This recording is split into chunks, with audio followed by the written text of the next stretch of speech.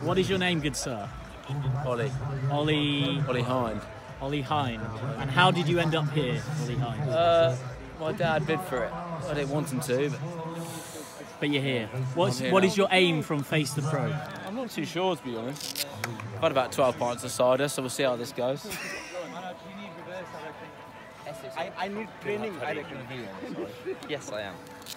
Good luck. Who's bowling? Where's City? You're gonna ramp it up, is it? If Willoughby No, bowls no. at you, just wait for the in swing. So that's Ollie Hind. And that is what might be awaiting him. A warning shot from Charl Willoughby. This is Ollie Hind. He's, he's got a very brave father that's uh, put him into bat. Put up to this by his dad. He's got some Dutch courage.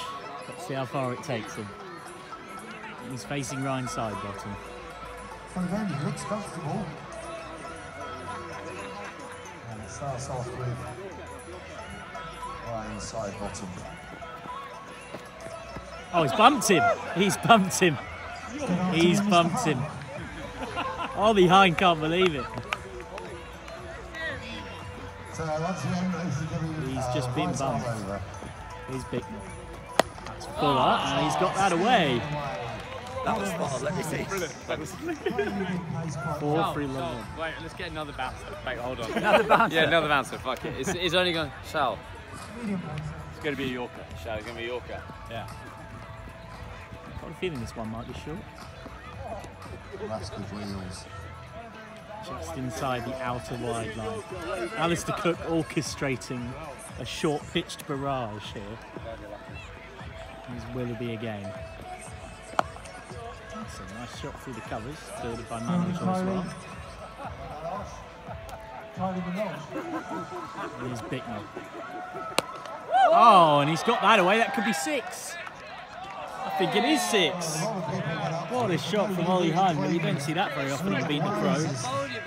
Lashing skipper Bicknell has been hit for six.